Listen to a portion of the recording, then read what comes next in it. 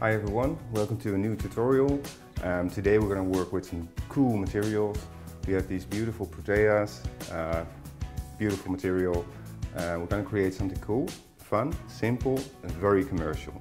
Um, should be fun. We have two nice glass containers, two colors. We have some ready-made little bowls. They're made from wicker, so it's good material to use. And we have some fiberglass and some like rope, colored rope. We're to start off with cleaning them completely and then we make a really sharp angle.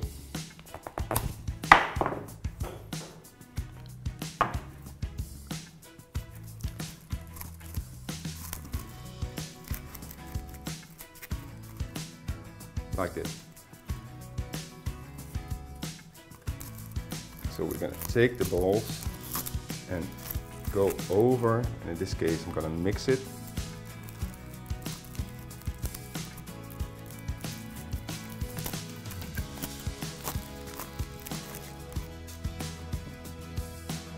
Very simple, very effective, already really fun.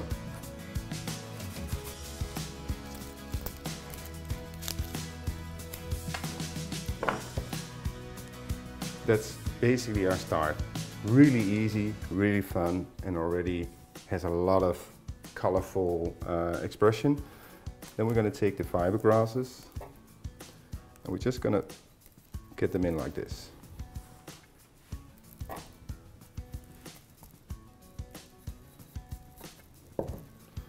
Take this aside. We're taking three or two, whatever you like.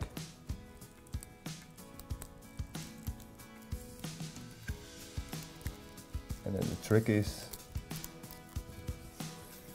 to find a hole.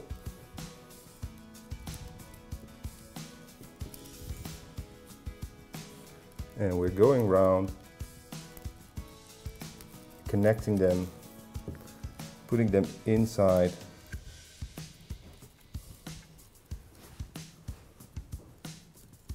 and going through.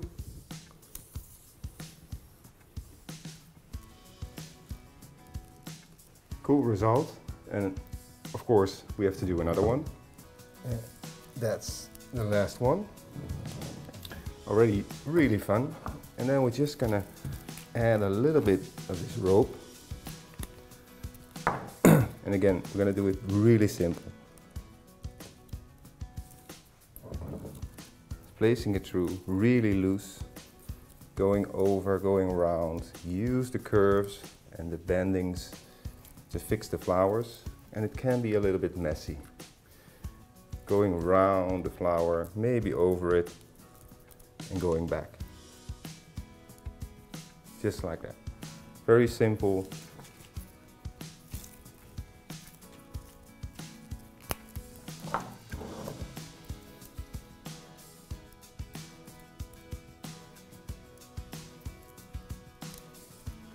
And by bringing materials inside the flower and over the flower.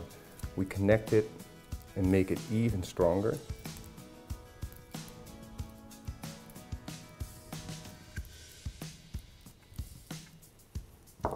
Take off any loose ends you don't like.